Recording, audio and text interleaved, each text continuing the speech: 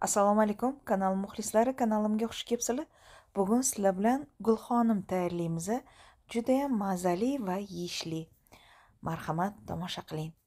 Birinchi bo'lib xamir tayyorlab olamiz. Xamirga bizaga 400 millilitr suv kerak bo'ladi. Kichkina paxta gulli kosada soldim. Bir osh qoshiq tuz solamiz bitta tuxum chaqib yuboramiz. Yaxshilab aralashtirib olamiz. Bugungi gulxonim go'shtsiz tayyorlanadi. Go'shtsiz bo'lishiga qaramay judayam mazali chiqadi. Demak aralashtirib oldik un solib xamir qorib olamiz. Unni albatta elakdan o'tkazib olgan bo'lishimiz kerak. Jami 600 gramm un ketadi ushbu xamirga. Xamirni qorib oldik ishlov beramiz va bitta zuvala qilib dumaloq qilib olib paketga o'rab tindirib qo'yamiz. Bu paytda biza kartoshka piyozlarni tozalab to'g'rab olamiz. Demak bizaga to'rtta yirik kartoshkalar kerak bo'ladi. Yuvib tozalab mana pare pare qilib yupqa qilib to'g'rab olamiz va somoncha shaklida ingichka qilib to'g'raymiz. Iloji boricha ingichka qilinglar chunki gulxonimni aylantirayotganda kartoshkalar bukilishi kerak.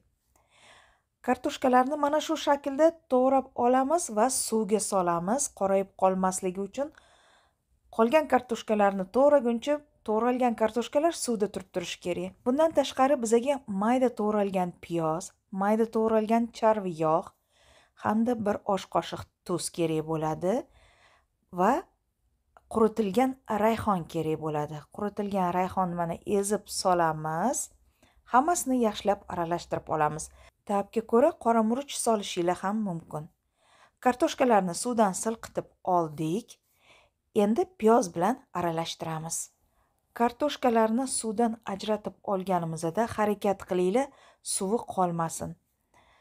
Piyoz bilan kartoshkalarni solib solib yaxshilab aralashtiramiz.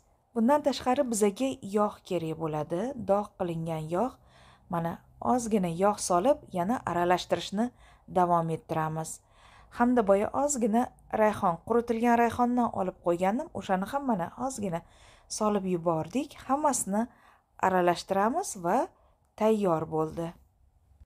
Endi chetga olib qo'yib turamiz. Biza xamirni yoyishga o'tamiz. Bir zuvala xamirni ikkiga bo'lib dumaloqlab olamiz. Bitta zuvalani paketga o'rab olib qo'yamiz. Ikkinchi zuvalani yoyishga o'tamiz. Demak mana ikkita zuvalani dumaloq qilib shakl berib olamiz. Bittasini paketga o'rab tindirish uchun olib qo'yamiz. Ikkinchisini qo'limizda ochib olamiz. Yaxshilab un sepib olamiz. Asosan chetlariga e'tibor beringlar. Xamirni yoyayotganinglarda o'rtasi yupqalashib ketadi. Cheti qalin bo'lib qolishi mumkin. O'shaning uchun qo'limizda chetlarini yaxshilab mushtlab ochib olamiz. Boshida ko'proq un sepib unlab olamiz. Mana endi o'qlov yordamida yoyishni boshlaymiz. Harakat qilamiz xamirni yupqa yoyishga. Chunki bu gulxonim. Gulxonim qilib buklaganimizda xamir qalinlik qilishi mumkin. Ana shuning uchun yupqa xamir bo'lishi kerak. Xamir yoyishni boshlaganimizda qasqonga suv solamiz va olovga qo'yib past qilib yoqib qo'yamiz. Biza xamir yoyib tugvaguncha suv ham sekin qaynab qoladi. Demak ekranda ko'rganimizdek xamirni yoyib oldik. Endi kesishni boshlaymiz. Qalinligi ya'ni eniga sakkiz santimetrdan olamiz. Mana birinchisini sakkiz santimetr qilib o'lchab ko'zinglarda chamalab olsanglar keyingi safar mana oson kesaverasizlar chamalab chamalab kesilaveradi lenta qilib kesib olganimizdan keyin mana uzun uzun lenta kesib oldik endi ikkiga bo'lib olamiz. O'rtasidan kesamiz. Xamir bo'laklarini yog'lab chiqamiz. Shunda xamir bo'laklari eniga 8 sm uzunligi 35-40 sm bo'ladi.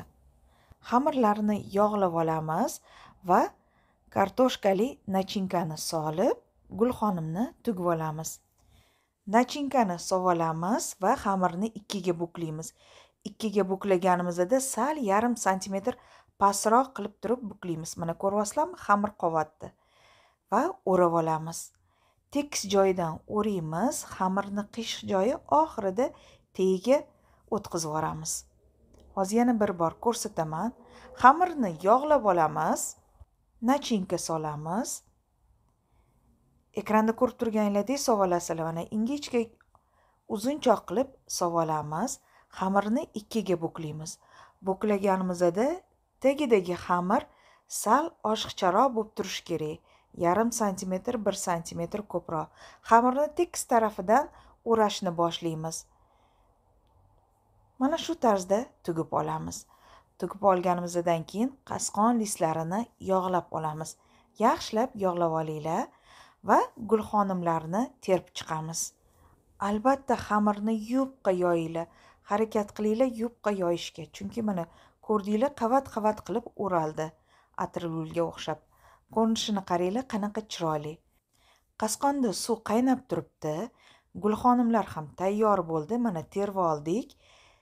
Endi qirq minut pishirib olamiz. Suv hammomida. Qirq minut vaqt o'tgandan so'ng ovqatni suzamiz. Mana azizlar gulxonimlar tayyor bo'ldi. Dasturxonga tortamiz.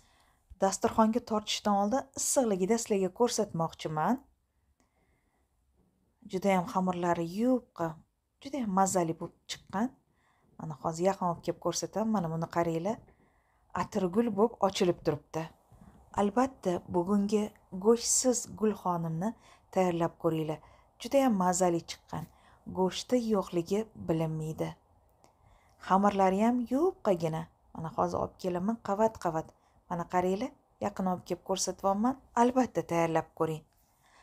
Shunday qilib azizlar keyingi videolarimda g'oyibona ko'rishguncha allohga omonat bo'ling o'zingizni ehtiyot qiling. Xayr salomat bo'ling. Mana bunisi ikkinchi zuvala ikkinchi qasqon.